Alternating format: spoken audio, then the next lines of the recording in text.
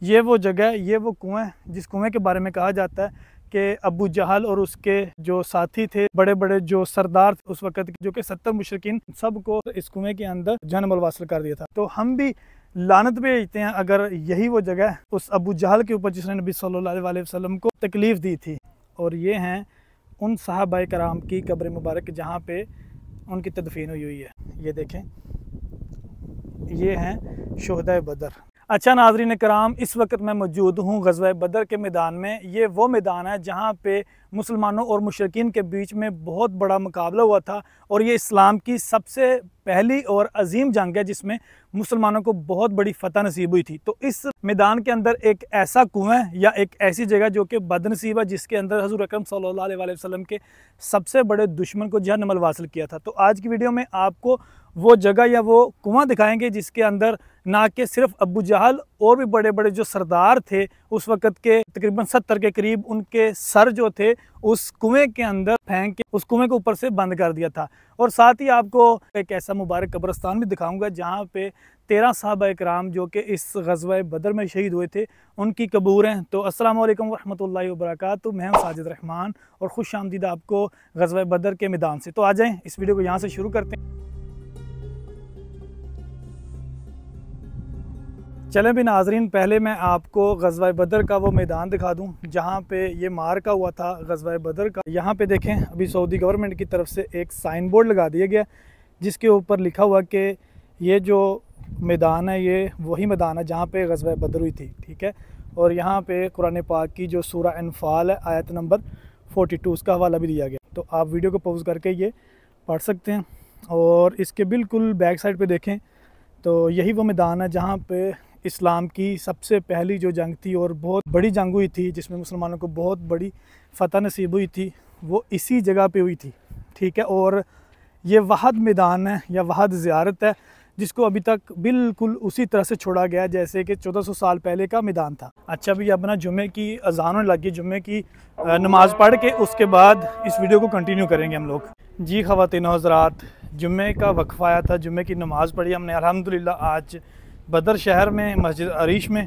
تو اب آپ کو پھر وہی میدان، جیسے کہ میں نے آپ کو پہلے بھی دکھایا کہ یہاں پہ ایک سائن بورڈ لگا ہوا ہے سعودی گورنمنٹ کی طرف سے، جو کہ تصدیق کرتا ہے، جو مارکا تھا، جو جنگ تھی، وہ یہاں ہوئی تھی۔ اور یہاں پہ دیکھیں، ایک چار دیواری کر کے انہوں نے تھوڑی سی جگہ کو کور کر دی ہے، جس کے اندر آپ کو بہت سارے پتھر پڑے ہوئے نظر آئیں گے، ٹھیک ہے؟ یہاں پہ ایک کنواں ہوا کرتا تھا، جو کہ کہا جاتا ہے کہ یہاں پہ وہ کنواں تھا جس کے اندر سب کو جہنم الواصل کیا تھا، اور بہت سارے زائرین زیارت کرنے آتے تھے اس غزوہ بدر کے میدان کی۔ تو وہ یہاں پہ اس وجہ سے آ کے پتھر یا جوتے یا اس طرح سے جو لکڑیاں وغیرہ پھینکتے تھے کہ یہاں پہ ابو جہل کو جہنم الواصل کیا تھا، مسلمانوں نے قتل کر کے، ٹھیک ہے؟ ایک اور یہاں پہ دوسری جگہ جس کے بارے میں کہا جاتا ہے کہ یہ بھی کنواں ہو سکتا ہے، ٹھیک ہے؟ جیسے کہ میں نے پہلے کہا کہ جنگ تو یہیں اسی میدان میں ہوئی تھی، اور جو جہنم الواصل کیا تھا وہ بھی اسی میدان کے اندر ہی کیا تھا، سارے مشرقین کو، جس کے اندر جو سب سے بڑا سردار تھا، جو نبی صلی اللہ علیہ وسلم کا سب سے بڑا دشمن تھا، وہ تھا ابو جہل۔ اس کا سر بھی اسی کنویں کے اندر پھینکا تھا جو کہ نبی صلی اللہ علیہ وسلم کا حکم تھا۔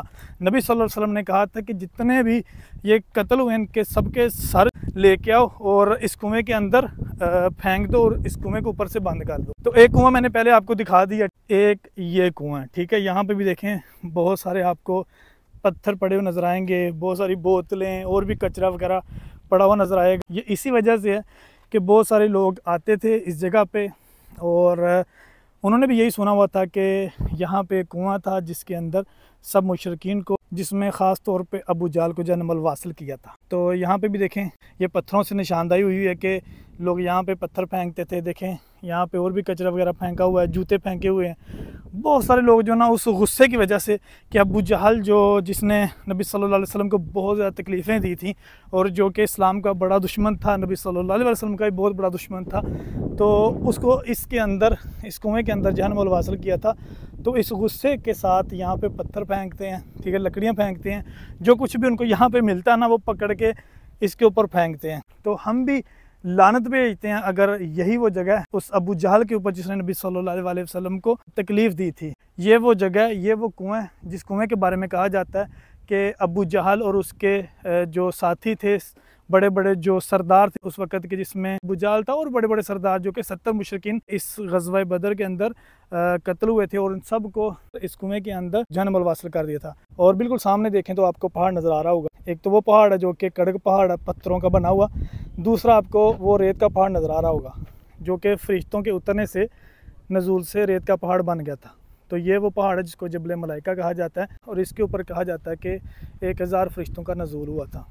جس وجہ سے یہ پہاڑ ریت کا پہاڑ بن گیا تھا۔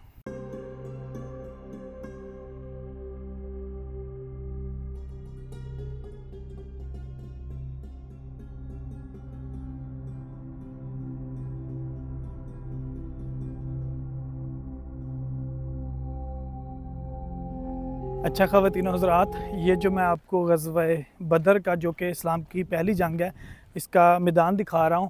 یہ وحد ایک جگہ یا وحد ایک زیارت ہے جو کہ سعودی عربیہ نے اس میں چینجنگ نہیں کی۔ ادروائز آپ سعودی عربیہ میں کوئی بھی زیارت کرنے جاتے ہیں تو آلموسٹ ہر زیارت کو انہوں نے رینویٹ کر کے اس کو تبدیل کر دیا ہے۔ لیکن یہ وحد ایک میدان ہے جو کہ اسی طرح چھوڑا ہوا جیسے کہ چودہ سو سال پرانا یہ میدان تھا۔ یہ جو آپ کو سامنے مسجد نظر آ رہی ہے، اس مسجد کا نام ہے مسجد عریش۔ اور یہ مسجد اسی جگہ پہ تعمیر ہوئی ہے جہاں پہ نبی صلی اللہ علیہ وآلہ وسلم کا خیمہ تھا اس غزوہ بدر سے پہلے۔ نبی صلی اللہ علیہ وسلم نے اسی جگہ پہ خیمہ لگایا تھا اور اسی جگہ پہ نبی صلی اللہ علیہ وآلہ وسلم نے دعا کی تھی اللہ تعالیٰ سے کہ ہمیں مسلمانوں کو اس غزوہ بدر میں جو کہ ہونے جا رہی ہے اس میں فتح نصیب فرمانا۔ اگر ہمیں اس جنگ میں شکست ہوگی تو اے اللہ تمہارا نام لینے والا اس دنیا میں کوئی نہیں بچے گا۔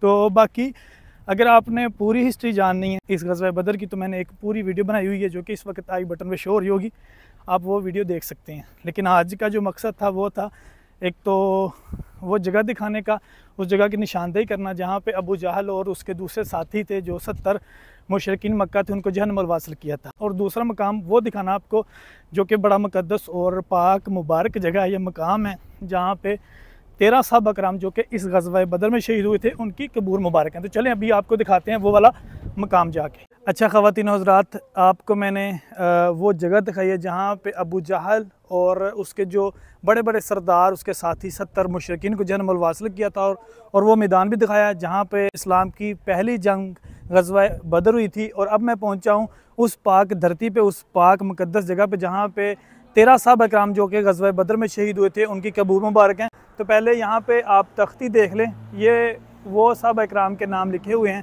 ٹھیک ہے، جو کہ اس غزوہ بدر میں شہید ہوئے تھے۔